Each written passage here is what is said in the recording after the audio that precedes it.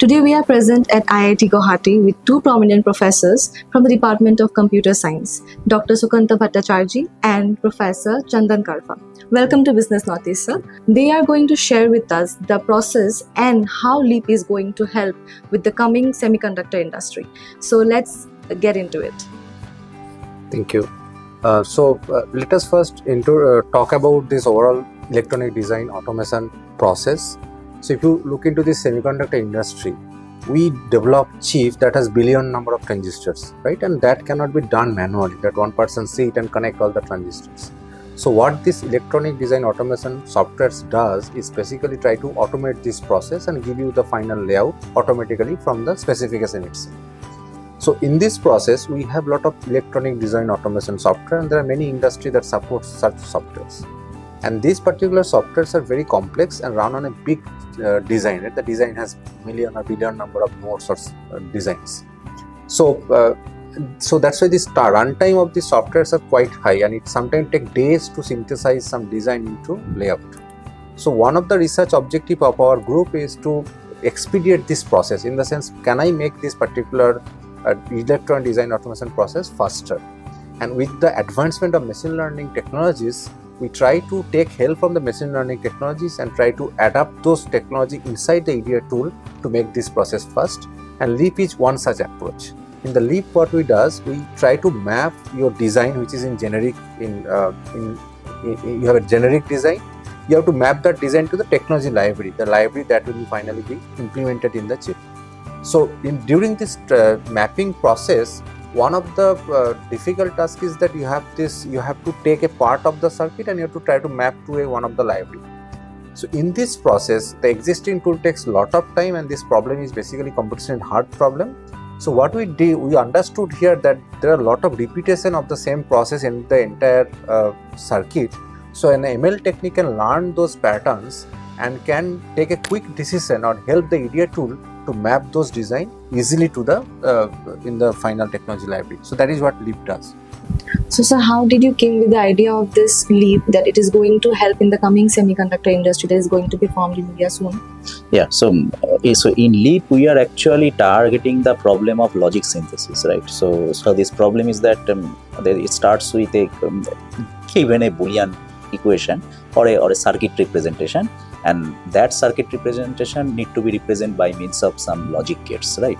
So it's a huge network right? So there are many algorithms that need to be run in order to give a optimized optimized netlist right? So you need this optimization because um, ultimately you need less number of transistor to fabricate this right? So uh, so this so far these existing algorithms are actually using some kind of heuristic techniques they are using right? So so in so in so in recent days um, there are there are a lot of um, applications of, of of actually machine learning that are actually transforming this process into a very a very efficient one. So uh, so so we are actually motiv- uh, motivated uh, by this because there are a lot of work is going on using this machine learning in EDA domain. So mm, uh, so we actually choose one of the one of the cutting edge uh, cutting edge software that is ABC that use some traditional algorithms to transform that uh, process, right? So, uh, so, uh, so what we did um, actually we try to uh, update some of the existing algorithms that are ABC using with a machine learning model. So, um, uh, so with with this idea, we actually try to uh, optimize this circuit, and ultimately, after doing a lot of painful uh, iteration process and our students also did very well. So so ultimately we got a very exciting outcome and and we and we actually published in a very top tier con the, the conference and it is one of the one of the leading conference in this electronic design automation. Okay so ultimately uh, with this uh, initiative it is going to be of great advantage to the yeah, semiconductor yes, industry yes of course as compared to the traditional yes uh, uh, because these things that ultimately ultimately we need to reduce the chip fabrication cost right? So so this more the better your logic synthesis process is your ultimate chip cost will be reduced, reduced drastically.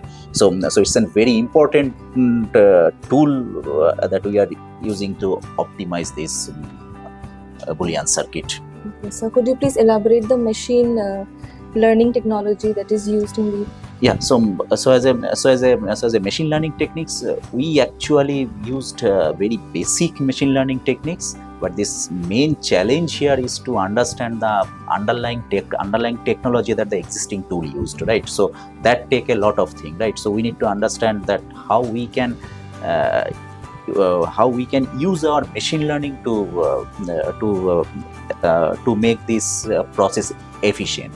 So so for that we we need to understand the understand the existing implementation of this abc so so so that is a huge a huge burden for us right but we successfully cracked it and we use some basic machine learning tools such as um, classification and and and regression technique to ultimately uh, come up with this idea Yeah, so exactly what uh, Dr. Bhattacharjee talked about uh, is it's not about which machine learning model you use, where you effectively use. So one of the important thing that we identified that the tool enumerate different possibilities for a node to be mapped, and we found that this tool go for thousands of such uh, uh, uh, sub uh, the pattern that can be mapped to the technology. We found that 90% of them are useless right? So that is our machine learning uh, technique actually classify that 90% of them you should not consider during mapping and that helps a lot. So this is basically you have to identify what exactly you are doing. Uh, the machine learning technique is not that great but you have to use it correctly in the process. Then it will help So, sir, now that we have come with this initiative, so is it like how are you pitching it to the industry and how are they going to recognize you? so yeah so if you look into the semiconductor ecosystem it's not about only the chip right? So you have the eda entire eda softwares as uh, dr Bhattacharjee mentioned that you have high level synthesis then logic synthesis physical synthesis. There are a lot of industry and today itself we have a discussion with one of the leading company they are interested about our work and we are actually trying to work together to make the process better. Uh, in addition to that you have also verification. When you build a chip you have to verify. You if you know that any processor that intel or any big companies develop they need months to uh, verify simulate the design is there corner bug right? Because if one corner bug is not identified in the verification process which might take probably million or billion dollar uh, wastage for the company because if it goes to market and if the fault has been identified right? So there are a lot of research is going on. We already have a close relation with one of the leading semiconductor company on how to make this machine learning process can help in uh, uh, improving the verification process. We also have the security thing right? So nowadays you probably heard of a lot of security issue your uh, computer being hacked. Yes. and there are a lot of this kind of hacking is possible from the hardware side. There may be some vulnerability in the hardware through which attacker can uh, go and try to uh, uh, hack your system and all right? So this semiconductor is not about only the chip or the, uh, the transistors. You have all this complex software that will do the synthesis verification all the security checks. So the lab that we are belong to called uh, automation verification and security lab we are actively working on all those kind of projects. And we are closely working with the industry to make this uh, whatever the research we try to do uh, make it become transitional and goes to the actual uh, semiconductor industry and with the initiative that uh, that the government of india have now this building this fabrication lab in india one in in guwahati particular so i think we all this research is very much important uh, to make this ecosystem in india Sir, do they will pro- provide any kind of fund regarding that so, so that you can carry on with the initiatives? Yes, so we had a discussion with couple of industry now, and they have some research grant. We are applying for that, and uh, hopefully we'll get those funds. We already have a couple of funds. We have funds from Semiconductor Research Corporation for this kind of research. We have fund from Qualcomm. We have fund from Intel. So we already have uh, close co- uh, close collaboration with the industry. Today we have a meeting with Google. So we have we are expecting more funds to come to support our research. Okay. Uh, Can you mention any lump sum amount of fund that will be required or which we have already? so uh, to so as we are doing is try to use the uh, leverage the uh, performance use of the machine learning technique in improving the semiconductor uh, industry. So this does not need you huge fund. We need some funding for supporting our manpower. Mhm. and we obviously need certain server, some gpu servers because you have to run those uh, big ml model over the big designs right? Mhm. so and many a time we need the design because in the public you don't have the design. So we have uh, we have we are talking with many industry where they can try to give us some form of the design which is not uh, that confidential or maybe the older version of some processor to us so that we can uh, we can use them for our learn I mean, learning the things from there. So we have we need all those things, and I think there are this industry is quite supportive to us. We are uh, in advanced stage of uh, discussing with a couple of industries so that we can bring more funds to supporting our research. So there are actually many students who are working in this project, and and this frankly speaking, students are the workforce for this project, right? So so here they need to understand a, a million lines of code.